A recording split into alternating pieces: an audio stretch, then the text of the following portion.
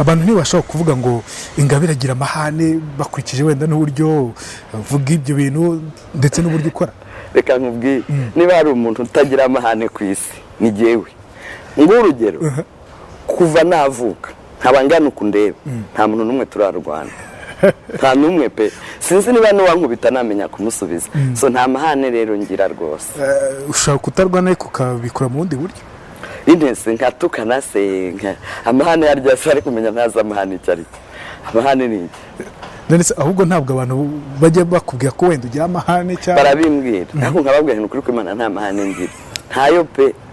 Ntabwo ngira amahane ko ntagira urugomo nkaba ntanduranya Eh, nkaba ntari violent at all. Gusa ngira amahane gute?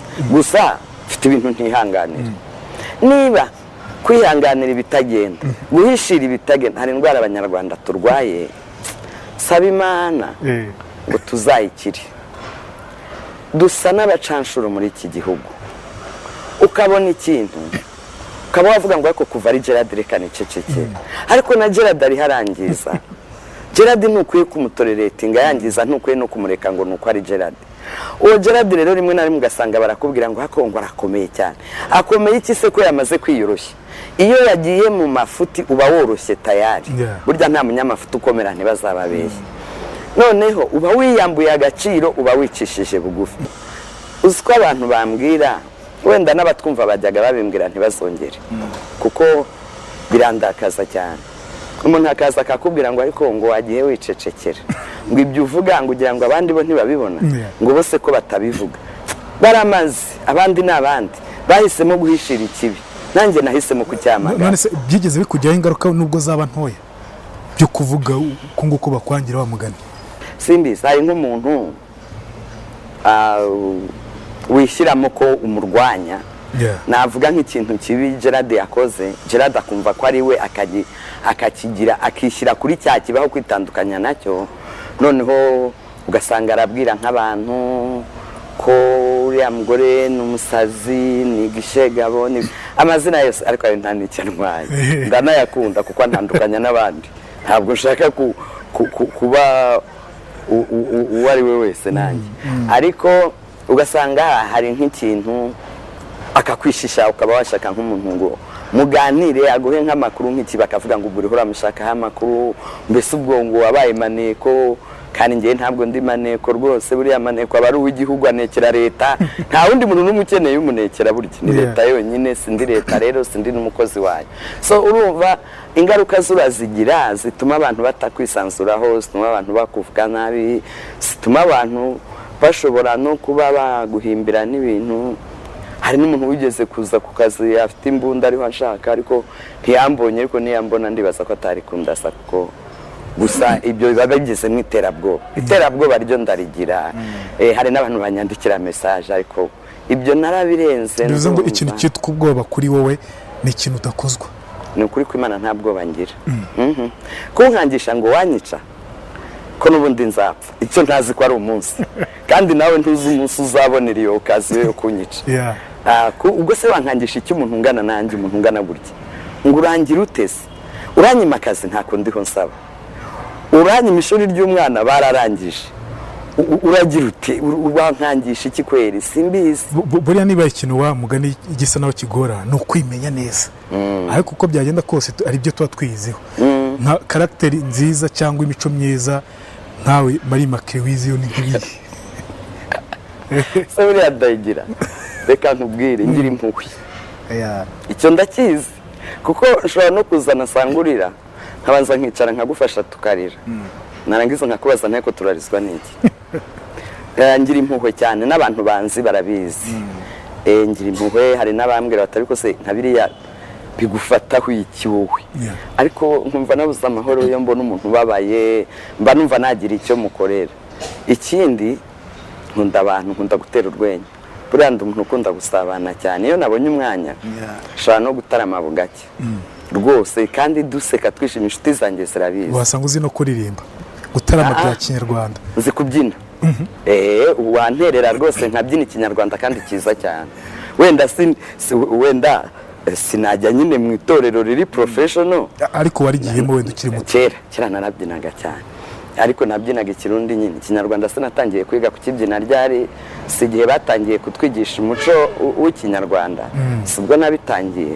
Ariko kubera ko nyine gukunda kubyina kuririmba byo simbizi ngira n'ijwi ribi ariko kubyina ariko kubyina ikinyarwanda yego ntiwanjyana mu rukerereza. Ariko baramutse bagutoje wabikora. Eh ko bahinduye ra ntabwo bakibyina ikinyarwanda.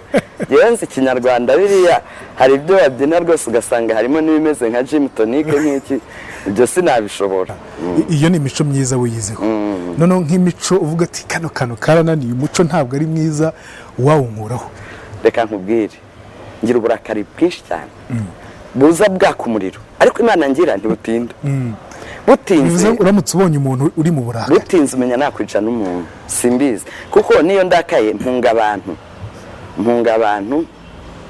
Kera ah, mwarimu yigeze kundakaza. Ariko nawe yari yamboneye. Eh. yari yandenganije. Ariko nkibibona nta nubwo natekereje nta n'iki. Nari umunyeshuri muri segonderi urabona? Nafashe periforateri ndayimutera ndayimukubita hano arakomereka. Biba na skandari ibintu birebire ariko nzi ko iyo ngize umujinya muri uwo mwanya. Nirinda abantu kugira ngo ntaba nakora ishyano. Ariko bishira vuba vuba. Niba ngize umujinya none nyuma y'iminota itanu ushobora gusanga n'icyari cyandakaje nakibagiwe nta kosa rindi ridasanzwe Iki- gukora kuri uwo mujinya Ah, ni menshi. Ni- eh, ni menshi yo ku- kugira umujinya nyine wa muntu aba afite nk'ikintu nka kimena. Ibyo byose ni imico mibi cyane. Kandi nyamara jyewe nabikubitiye abana kuko uzi ko ari imico mibi ubundi nta muntu wo kwivumbura ariko hari ingesi ikunanira. Ah, ikindi kintu ngira ntabwo nzi kwihangana. Ibintu byanjye mba ngira ngo byihute. Bigende vuba nawe wintinza agena. Sinzi kwihangana. Niba nanagusobanurira ikintu ntucyumve. Kandi numva cyumvikana. Simfata umwanya ngo ntikumvishe. Ah, ah, mpita nkwihora nkubwira ok ni akazi kawe niba ari ukubyumva. Ibyo na byo ni ibintu bibi cyane ariko nyine ndagerageza kubirwanya ariko buriya ingeso nyine iragatsindwa. Ukiri umwana muto cyane. Tubwiye kuri bimwe mu byo mu ishuri ukiri umwana muto cyane irihe kosa wakoze n'uyu munsi ujya ukiseka yari umwana muto cyane ikintu nibuka nkumva kirasekeje. Hari eh, ahantu twanyuraga. Tuva gusenga cyangwa tujyayo kuri paruwasi hari na hafi. Hari imbuto furuti noneho duca eh, ibinyozwa purini nari nambaye n'agakanzu kera. Turabirya ariko bigwa ku ikanzu sinabibona. Noneho baratubaza nyine ko twa twibye imbuto ugeze kwiba ariko wibye no kwa padiri urumva ngira ngo ni ibyaha bibiri. Ndaharahira ndabihakana. Kandi ni ukuri ubundi nta nubwo mbeshye aho kwa gutinya inkoni ngewe murabizi ndi muri cya cyiciro cy'abantu twakuze kera baradukubitaga. Usibye ko ngewe n'ubu ntibishimira imana. Hari ibintu byinshi byamfashije kutaba. Hari umurongo byampaye kandi ntibyampungabanije ntibyangize bite kandi wenda hari ikintu byamfashije nako si wenda. Satire hari ikintu byamfashije. Ko hariho gutinya ko bari bunkubite bya bindi babaga barakubwiye kirazira ibi n'ibi kirazira. Twe twakuriye muri kirazira nyinshi. Ntabwo ari nk'ubu nta kirazira ikibaho. Ariko natwe ngira ngo aho bitugejeje turahabona. Noneho nda- ndahakana nkarahira. Mama bireba ku ikanzu. Icyo gihe nabwo nyine naranabihaniwe ariko iyo mbyibutse ndaseka kuko we yarandebaga akantu akatindeba mu maso nkamureba ntabwo nta binyozwa wariye ni kuri kw'imana nta kinyozwa nigeze. Ndya. kandi ari kubireba ku ikanzu. Bireba ku ikanzu. Kandi uko mbihakana umujinya ugakomeza uzambuka mbireba. Nkibaza impamvu ariho agira umuko iyo umuntu ariho agenda agira umujinya umureba urabibona. Eh, icyo ni kimwe. Ikindi ah, ni uko mvuka mu muryango w'abakatolike. Cyane bemeraga cyane cyane. Tukajya mu misa bakabaha ukarisitiya agiye ntibayime nkumva ndababaye. Undi munsi nigira inama. Ubwo wari utari- utarigira ukarisitiya oya. Na nyine umuntu ukibabazwa ni uko batayimuha nyine nawe uramwumva. Nigira inama ko ngomba gushaka misa. Itagiyemo umuntu n'umwe unzi. Ntaza kujya guhazwa. Eh, urabona ku- kuri paruwasi y'iwanyu. Icya mbere abari mu kiliziya bose ntiwababona.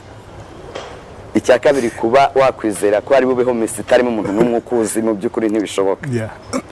Ariko nzi ko icyo gihe nisigaje ngasigarana n'abandi bana bo bagombaga kwiga indirimbo bazaririmba kuri pasika.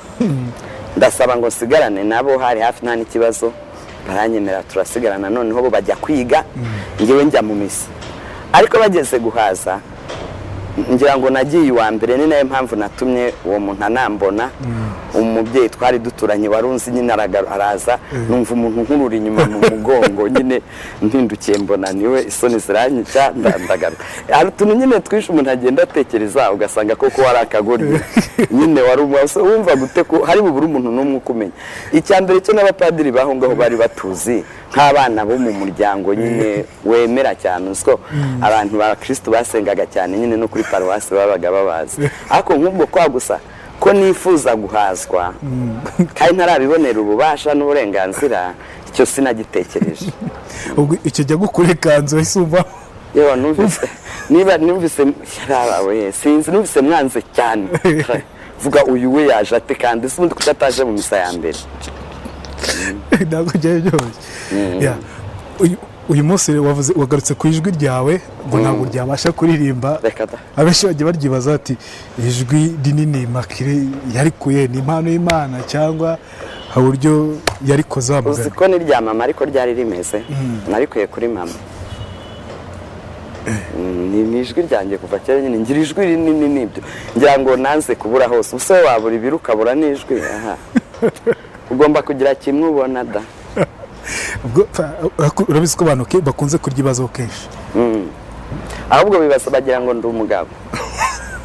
Iyo mwitabye hari abo nitaba bakambwira ngo nashakaga nyiri iyo telefone. Bafata ijwi bagahuza n'umuntu n'izina kuva Eh, abandi nabo bazi ku ijwi gusa. Eh. ngo baba bazi ko ndi umuntu w'igihangange munini cyane w'ibiro byinshi cyane. Mbese wa undi nyine? Igihangange bambona bakumirwa. Mm. ingabire marie makire yidagadura gute? Iyo ashaka kwishima. Iyo nshaka kwishima nshaka inshuti zanjye. Cya kabiri nkunda gusoma cyane. Iyo mfite igitabo cyiza nduhuka ari uko nkirangije. Nakumenya nta n'igitabo kibi kibaho ariko nivuga ko nkunda gusoma ntugire ngo ndasoma ibya siyanse n'ibiki oya ni ya mahoma. N'amakuru y'abantu yabaye. Ibyo ngibyo ni byo binduhura mu ubwo mutwe. nanze ko usoma politike cyane. Reka reka reka politike nyisomye yanduhisha. Eh. Eh, iyo yanduhisha mu mutwe ko burya sinayumva. Igihe indushya kumva. Ushobora kuvuga nk'ubu uti naka uti ibi n'ibi n'ibi. Bati yego ariko buriya kubera impamvu za politiki baba bamwihoreye ibyo iyo politiki rero yarananiye mbese ntukora politike sinjya jyewe Eh, ubu se ntitwagushyira mu bapolitisiyeni ayiwe ntabwo byakunda. Mm-mm. Nta sisiteme yabamo umuntu umeze nkanjye ngo bifate. Ntabwo byakunda. Buriya iyo uri umunyepolitike uba n'umudiplomate. Umunyepolitike afite uko avuga ibintu afite uko abitwara.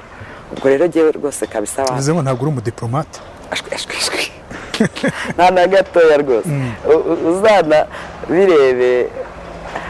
Ugiye nko kuri social media wabibona. Niyo hari nk'umuntu tuvuga ututse nk'u rwanda nda- ndabyanga cyane. Ntabwo umuntu utuka u rwanda cyangwa abayobozi b'u rwanda. Numva nta n'ubifitiye uburenganzira nta n'ugomba kubajaginga nta n'uwo bafitiye umwenda. Icyo cyo gisobanuka. Bivuze ngo ubaye umunyapolitike waba umunyagitugu. Ahubwo nagaba ibitero. Nashoza intambara mu bihugu. Ntabwo nawe umunyagitugu kuko nanga akarengane. Ariko nashoza intambara ntabwo wajya upfa kuvuga ku rwanda gusa ngo ndare ntaguteye ntasabye ko bagutera. Urumva rero nta munyepolitiki umurimo kuko hari nk'abantu bandika ibintu ugasanga ni abasishikare ni abatutse nkabona abandi bari kuvuga ngo just ignore just ah ah i can't ignore kuko numbwira ngo nimureke wa mujinya yanteye eh? nda- ndaza kuwugumana. Ngomba kugira ikintu nkora ngo nshire umujinya. Hari umuntu wahoze hari abantu nahoze mbwira nti ngewe nzajya ni mu rubanza rwa sankara nzajya kuregera indishyi. Bati cyo indishyi se yakugize ati? No sankara yanteye umujinya cyane. Bati hakunda akavuga ati ariko nanjye yanteye ubwo ngiye ntabwo bayanteye ariko yavuze ibintu bintera umujinya. Bituma ndwara umutwe ndara ndasinziriye njyewe icyo ngicyo mba numva ari akarengane nakorewe nanjye nkwiye kugasabira indishyi. Eh, hari ibintu bindakaza cyane. Kandi nabikubwiye ko ndakara vuba kandi umujinya bakwita umuranduranzuzi. Imana ishimwe nuko bishira vuba. Usibye usanga rero ndacyamurakariye. Bariya abantu bose bashoboye kugura amahegitari y'ubutaka ahantu heza bagashobora kubaka amazu y'imiturirwa n'andi mazu meza cyangwa se ibikorwa remezo bishashagirana. Ni abantu bashoboye gukora cyane ndetse bagira ubuhanga bwo gufata byinshi mu by'iyi si itanga. Bafite ubumenyi buhagije mu gushora imari mu bintu byunguka ariko bigenda bite ngo bamwe muri bo bahombe iyo bagerageje kugurisha uwo mutungo wabo cyangwa se kuwushyiraho ibindi bikorwa remezo biramba? Mu butunzi bw'umutungo utimukanwa hari ingingo ebyiri zifitanye isano ariko zitandukanye cyane. Kugira umutungo ntabwo bisobanuye kumenya icyo kuwukoresha. Nzi abantu bashoye amagana y'amamiliyoni mu kugura ubutaka ariko bibeshya mu guhitamo icyo babukoresha ubutaka bwose burahomba. Nzi abantu bagurishije imitungo itimukanwa yabo ku giciro gito cyane kubera ko batazi agaciro k'imitungo yabo. Nzi abantu bakodesha amazu yabo ariko bashobora kuzaba batakiyakodesha mu myaka icumi igiye kuza kubera uburyo bayafata. Gusa ku rundi ruhande nzi abandi bantu batanga ubujyanama ku cyo wakoresha umutungo ufite nk'inyubako cyangwa se ubutaka. Abantu batanga inama ku ishoramari. Abantu bakubwira niba inzu urimo gukodesha hari amavugururwa ukwiye kuyikoraho. Abantu batanga inama zunganira umuntu ugiye kugura umutungo utimukanwa cyangwa se kuwugurisha. Nzi ikigo cyitwa Tower Property Consultancy Limited. Kigizwe n'inzobere zitanga ubufasha n'inama mu ishoramari ryiganjemo inyubako n'ubutaka. Niba uyu munsi umuntu wese ushiritse ubute ashobora kugushakira inzu nziza yo gukodesha. Tekereza noneho yishakiwe n'impuguke mu by'umutungo. Niba ushobora kujya kugura cyangwa se kugurisha inzu n'imodoka ukagisha inama inshuti yawe idafite aho ihuriye n'amazu cyangwa se amamodoka tekereza noneho iyi nama uyigiriwe n'impuguke muri ibi bintu. Nzi abantu benshi bafite imitungo ariko batazi agaciro kayo bakibwira ko bazakamenya ari uko bagiye kuyitangaho ingwate mu mabanki cyangwa se igihe bagiye kwishyuza ingurane mu gihe iyo mitungo yasimbujwe ibikorwa biri mu nyungu rusange. Abantu benshi uyu munsi barimo guhomba imitungo yabo kubera ko batazi agaciro kayo. Ngo bayijyane mu bigo by'ubwishingizi. Ni gute wategura igenamigambi ry'umutungo wawe utazi agaciro kawo? Tower Property Consultancy Limited ifite impuguke zireba umutungo wawe zikawugenera agaciro ku buryo ujya kuwushinganisha uzi agaciro kawo. Mu gihe cy'amage bakazawugenera agaciro wowe usanzwe ukazi. Ukurikije uburyo serivisi aba batanga zikenewe birasa n'ibyumvikana nk'aho bitoroshye kubabona. Natwe ni uko twabitekerezaga kugeza tumenye ko Tower Property Consultancy Limited ikorera ku Kimironko mu mujyi wa Kigali inyuma ya banki y'abaturage ku muhanda KG cumi na rimwe Avenue. Ushobora no kubahamagara kuri telefoni zeru karindwi mirongo inani n'umunani mirongo ine na karindwi mirongo ine n'umunani mirongo ine na kane cyangwa zeru karindwi mirongo inani na gatatu mirongo itanu na kabiri. Zeru rimwe mirongo irindwi na kabiri na zeru karindwi makumyabiri n'umunani mirongo itanu na kabiri zeru rimwe mirongo irindwi na kabiri. Hari abacuruzi bafite ibicuruzwa na serivisi nziza ariko bafite ikibazo cy'uko abantu benshi batazi ubucuruzi bwabo. Hari icyo wakora ibihumbi n'ibihumbi by'abanyarwanda bakarara bamenya ibikorwa byawe. Muri red blue jd bakwereka uko ubigenza ubucuruzi bwawe bukamenyekana kandi n'abakiriya bakarushaho kukwegera no kukwizera. Bafotora ibikorwa byawe bagasobanura ubuziranenge bwabyo bakanabimurikira abakiriya bafotora abageni bakanababikira videwo z'ubukwe bwabo kuri YouTube ku buryo nta kibazo cyo kongera kubura amashusho cyabaho. Abaririmbyi babakorera amashusho y'indirimbo zijyanye n'igihe bakanabafasha kumenyekanisha ibihangano byabo. Abantu basobanutse bamaze kumenya ibyiza byo gukorana na Red Blue JD bakorera munsi y'isoko rya Kimisagara werekeza Nyabugogo. Wahamagara kuri 0788 36 53 55 byigeze bikubaho kwitabira ibirori. Inama cyangwa se ibindi bikorwa bikaba uhari ukabikurikirana kuva bitangiye kugera bisoje. Ariko nyuma y'ukwezi kumwe ugatangira kwibagirwa bimwe mu bice by'uko uwo muhango wagenze kandi wari uhari. Niba urimo kureba aya mashusho ni uko udashobora kwihanganira kureba amashusho no kumva amagambo atari meza. Turi miliyari zirindwi z'abantu kuri iyi si. Abarenga miliyari enye muri twe dukoresha interineti buri wese muri twe arihariye. Ateye ukwe afite ibyo akunda ku giti cye adahuje n'undi uwo ari we wese. None niba dutandukanye kubera iki twagira ubwoko bumwe bw'ibirori? Kubera iki inkuru zacu abantu bazibara kimwe ntabwo bikiri ibanga ko uwo ari we wese ko uyu munsi Red Blue JD ari kompanyi ifata amashusho ikanayatunganya. Igakoramo inkuru cyangwa se ibyegeranyo bidashobora guhaza ijisho cyangwa se ugutwi k'uwo ari we wese inshuro imwe. Red Blue JD ni inkuru yo kubara. Ariko cyane cyane ni inkuru ivuga uburyo abantu bafata amafoto meza y'ubukwe n'ibindi birori.